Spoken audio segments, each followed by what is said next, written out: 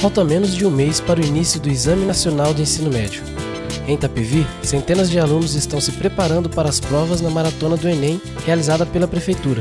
O que será que eles estão achando do intensivão?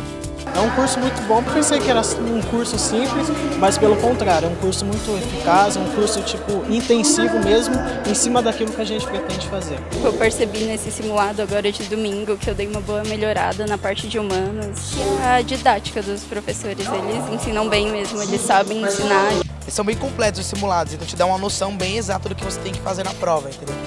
E isso é fundamental, e aqui você consegue ter, né? Então, aprendi bastante coisa desse longo de um mês e meio, porque tem coisas que eu nunca vi na, no ensino médio. Aqui eu tô aprendendo mais do que no ensino médio.